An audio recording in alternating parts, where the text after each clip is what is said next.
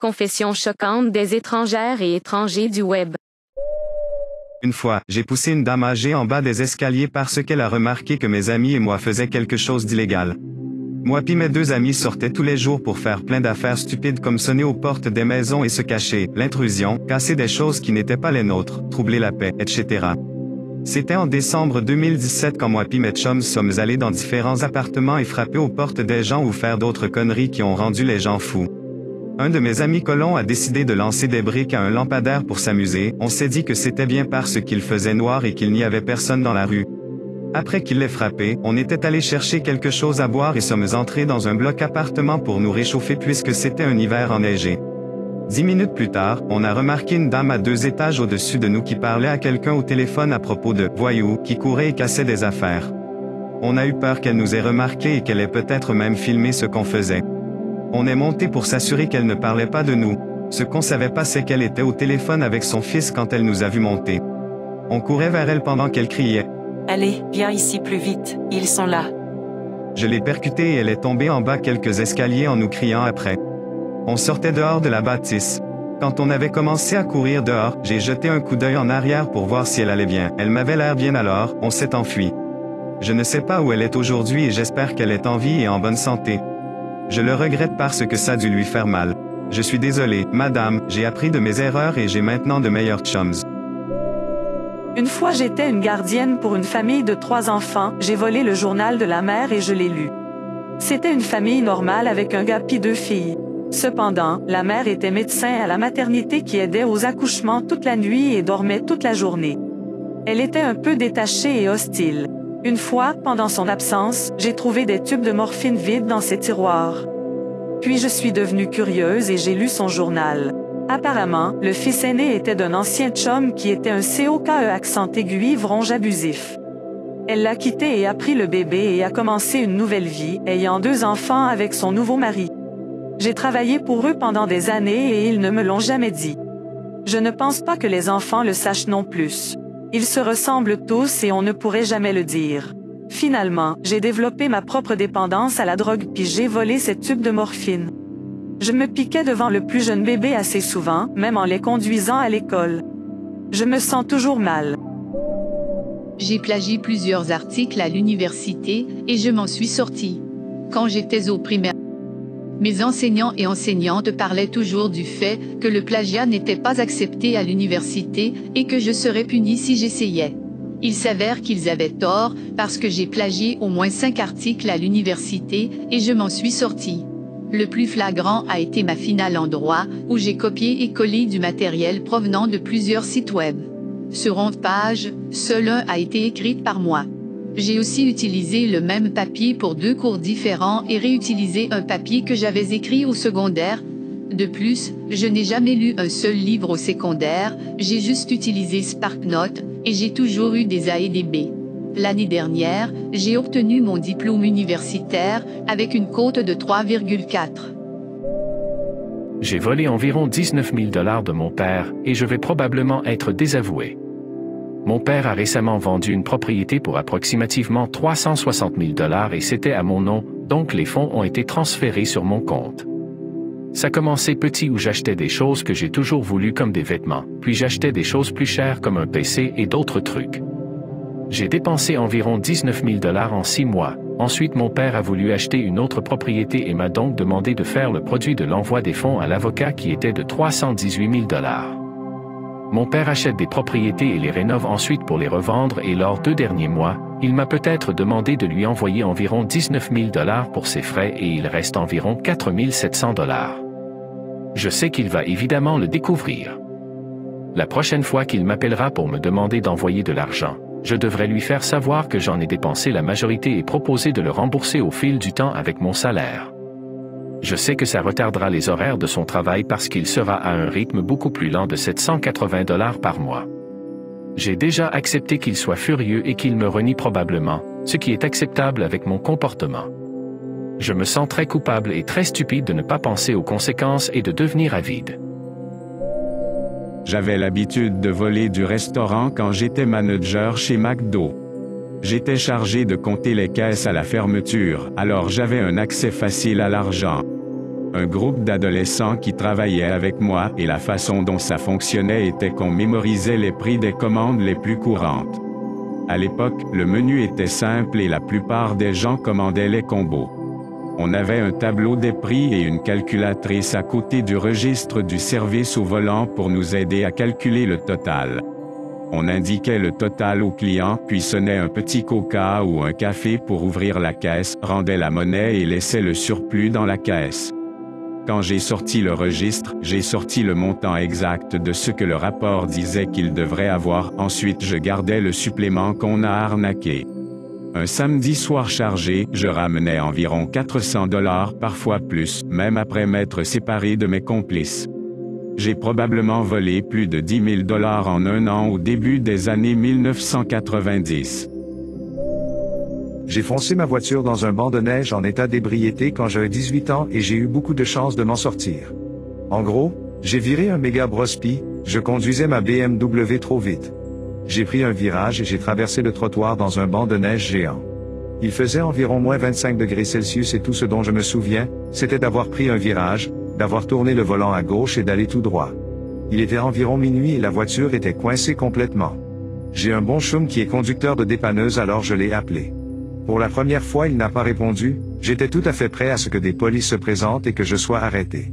Il y avait des caméras de sécurité pointant vers la direction puis je savais que je sentais l'alcool. Juste après ça, ce gars noir dans une BMW 335i s'arrête, puis me demande si ma voiture a X-Drive. Il m'aidait à pousser pendant que je fonçais sur l'accélérateur. J'ai sorti la voiture et, heureusement, il y a eu des dommages extérieurs très minimes, parce que j'avais un VUS et pendant qu'il sautait le trottoir, il n'a poussé que dans la neige et l'herbe. S'il s'agissait d'une berline ou d'une voiture plus basse, ça aurait été pire. Je lui ai remercié et lui ai donné ce que j'avais en argent à l'époque, soit environ 450 dollars. Je suis à peu près sûr qu'il savait que j'étais chou mort, comme je traînais, mais il était reconnaissant. Du bon côté des choses, je n'ai pas conduit ivre depuis et je n'ai jamais l'intention de le faire. Quand j'avais 12 ans, j'ai empoisonné et hospitalisé mon prof d'histoire.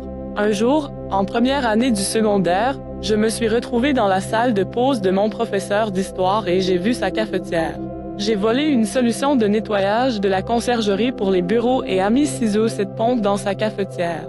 La prochaine fois que je suis allé à la classe, on avait un enseignant suppléant. Je n'y ai pas souvent réfléchi jusqu'à ce que ce remplaçant se présente jour après jour. J'avais oublié l'incident d'empoisonnement, donc je n'avais pas encore mis 2 plus 2 ensemble. J'ai alors appris d'un autre élève que notre professeur régulier était très malade et qu'il était à l'hôpital. Je pense que c'est à ce moment-là que je me suis souvenu de la solution de nettoyage. Je ne suis toujours pas sûr à 100% que c'était moi, mais c'est une assez bonne chance. J'ai pris de la drogue avec mon amie le soir où elle a fait une overdose. Mon amie Sally puis moi chez mon chum avant qu'elle dû partir en cure de désintoxication le lendemain. Quand elle est arrivée, Sally a amené son chum. Je l'appellerai John. John a apporté une grosse boîte remplie d'un assortiment de drogues. Acide, Percocet, Coke, Xanax, etc. Tout ce que je fais habituellement c'est fumer du pot. Au cours de la nuit, j'ai fait de la coke avec eux. Je ne sais pas pourquoi j'ai fait ça. Sally et John se sont disputés et j'ai tout vu. Pendant la nuit, Sally m'a avoué qu'elle avait des sentiments pour moi et John aussi. J'ai été très surprise et interloquée.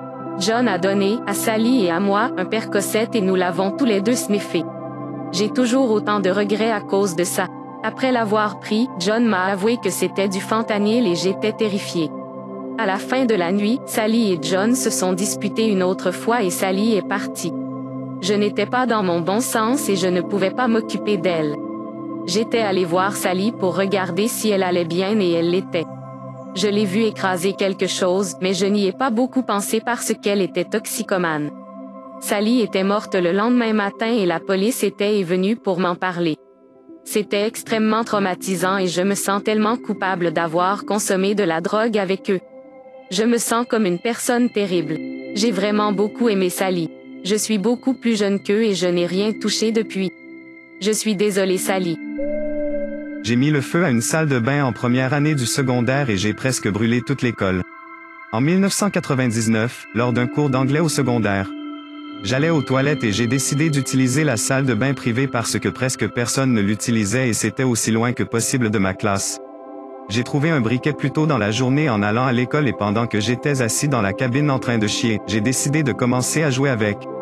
Je mettais le feu à des feuilles individuelles du papier cul et en les laissant tomber sur le sol pour les regarder brûler. Ça durait jusqu'à ce que j'ai fini et alors que je partais, j'ai eu la brillante idée de mettre le feu à tout le rouleau et de le laisser brûler pendant que je partais. Dès que je retournais en classe, l'alarme incendie se déclenchait et l'école s'est évacuée. J'ai découvert plus tard que non seulement les cabines avaient été incendiées, mais que les cabines en feu avaient également commencé à mettre le feu aux poutres des murs. S'il n'y avait pas eu la caserne des pompiers à moins d'un pâté de maison, il est probable qu'une grande partie de l'école aurait brûlé. Heureusement pour moi, je n'ai jamais été découvert. Parce que j'utilisais la salle de bain la plus éloignée de ma salle de classe, je n'étais pas un suspect principal, mais j'étais quand même interrogé avec les quelques autres enfants qui n'étaient pas en classe à ce moment-là. Personne n'a jamais été blâmé et après ça, un agent de sécurité de l'école ou un surveillant de salle a dû escorter toute personne qui voulait aller aux toilettes pendant les cours pour le reste de l'année. J'ai physiquement agressé mes neveux, et je le regrette profondément. Ce n'est pas un incident isolé. C'était plusieurs. Je suis plus jeune que ma sœur de 14 ans, elle a eu son premier fils quand j'avais 5 ans et son deuxième fils quand j'avais 7 ans. Elle a vécu avec moi et mes parents pendant la majeure partie de mon enfance, tout comme mes neveux. Mes parents étaient très négligents et ma sœur aussi. Prendre soin de mes neveux a été mon travail presque immédiatement. Quand j'avais 12 ans, j'ai dû partager une salle de bain avec eux. Ils restaient éveillés toute la nuit à crier et à sauter partout. Ils se faufilaient dans ma chambre et volaient mes affaires et mes parents n'ont rien fait. J'en suis arrivé au point où j'étais privé de sommeil, jonglant avec l'école, les enfants et les attentes de mes parents. S'ils faisaient trop de bruit et me réveillaient, je les messerais. Finalement, ça a conduit à un peu de violence. À un moment donné, j'ai réalisé ce que je devenais et ce que je faisais. J'ai essayé de m'éloigner d'eux autant que possible, je sais que je les ai blessés, et que j'ai causé des dommages irréversibles. Je ne me le pardonnerai jamais. Je ne m'attends pas non plus à ce qu'ils me pardonnent. C'est arrivé à nouveau quand j'avais 18 ans. J'avais un emploi à temps plein, et ma sœur est revenue vivre avec nous. J'essayais d'avoir mon propre appartement, mais tout mon argent et mon temps en dehors du travail étaient consacrés à m'occuper d'enfants qui n'étaient pas les miens. On s'attendait à ce que je m'occupe d'eux à plein temps et que je m'occupe de la maison pendant que ma sœur s'asseyait et se détendait. J'ai craqué, je les ai frappés quand ils m'ont répondu plus d'une fois. Je sais que leur mère l'a fait aussi. J'ai pris la première chance de déménager, et je suis resté à l'écart depuis. Je leur ai personnellement causé tellement de traumatismes quand ils avaient le plus besoin de moi. Je ne prévois jamais d'avoir des enfants à moi. Je ne peux pas me faire confiance pour ne pas répéter mes erreurs. Je suis un monstre. Je déteste cette version de moi-même, et je regretterai de leur avoir fait du mal jusqu'au jour de ma mort. Je les aime tellement, et je leur ai fait si mal. J'ai 32 ans maintenant. La seule personne à qui j'en ai parlé est mon mari. Il a essayé de me consoler, mais je sais que je ne le mérite pas. Je me sens coupable de l'avoir même laissé tenter de me réconforter.